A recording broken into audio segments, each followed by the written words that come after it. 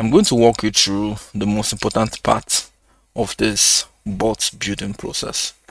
Let us start with the first and the most important one, personalities. By personalities on the bot, we basically refer to Google accounts. Now, it is no longer in news that Google no longer respects clicks and engagements gotten from, you know, visitors that they cannot link back to an account. So this simply means if you have an account on Google and you make a click on a website, that click will be verified. If, however, somebody comes in with an incognito mode or the person is not logged in or Google cannot trace the person to an account, that click after a while gets marked as an invalid click. So I'm going to go straight to my active cookies, which I have up to 10 of them. Now I've configured and set my cookies to the 10 active cookies I have present on my system. The second thing is to set how many times I would want each of these cookies to view my website. The biggest mistake I think everyone makes when when it comes to building up a bot is to click on the first visit. Now you could do this sometimes but not all the time. We created a system where a particular Google account can visit a website more than once or twice and in between those visits don't click on an ad. This simply means if I set this particular system to you know do three visits per personality this simply means the total amount of cookies or personalities or gmail account i have currently on the bot would visit my website which is target websites up to three times. Within these three visits it would click on an ad. Now that depends on how many times you set it. Now it is also very important to state that when you put in 1 for instance. It simply means the maximum time a cookie can click on an ad within your website or your target it simply once but it doesn't mean that they would always click on it once most times they go on without clicking it's something the system does by itself for instance if a particular cookie clicks on an ad today it wouldn't click on that ad tomorrow but setting one just simply means you're setting the maximum number of click a particular gmail account can click on an ad. Depending on what you do, your niche strongly um, coordinates or determine the amount of clicks. If you're doing something or if your niche is around something people would want to have a consistent call to action for, such as if you're into the business of travels, tourism, it is a common sense that people who are in search of travel destinations, you know, engage with ads more. This simply means you can take your personality to even sorry your clicks to even up to three clicks.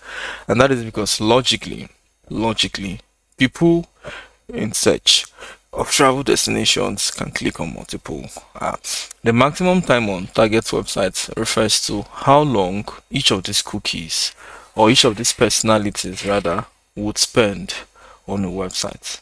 Now, we all know for sure that Google has what we call a duration or retention time or a bounce rate, which means how quick do people leave your website just when they've landed on it.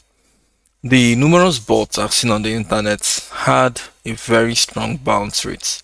This simply means the bot opens up the website and within few seconds the bot leaves the website having clicked on something. It doesn't make sense because it's already on its own a tell-off.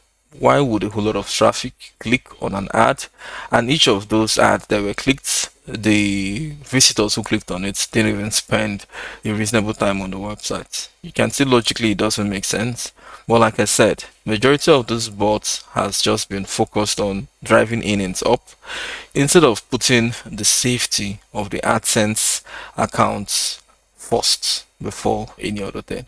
And when it comes to the OkecBots model, we put in the AdSense account first, trying to make sure the bot looks completely human-like and undetectable. And so we brought the future of how long would you want this personality to be on a website.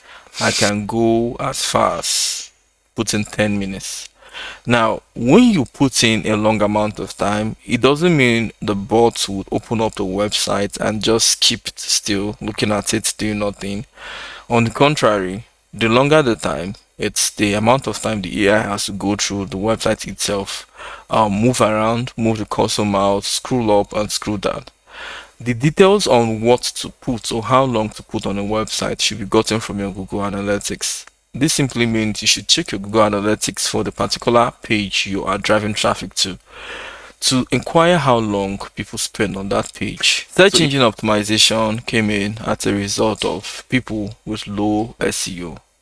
We understood the need to be ranked on Google's front page. In as much as you would want to make a lot of money from Google AdSense, it is also prominent to understand that traffic has to look organic. Most of this personality would not go directly to your website, but they would first of all head over to Google and search for something related to your article using a keyword string um, generator. So you give it your link, it goes through your link, finds keywords, pick up those keywords, search for them on Google, and it will keep going through all the Google search from the first page to the second page to the third page. Whenever it sees that particular link to your article, it clicks on it. So that way, after a while, Google thinks your particular article was very, very resourceful, and they take it from the last page to the front. This is where you put the link of your target website. This could be an article, this could be a web page, and once you're done, you hit deploy. It automatically gives you a zip file, which is the code you should put in on the folder where you've already created your installation. And from there henceforth, you put it there, you click on the run, and that is it. If you want another video detailing how to do this for YouTube channel, I'll make an episode as the week comes by. Thank you, everyone.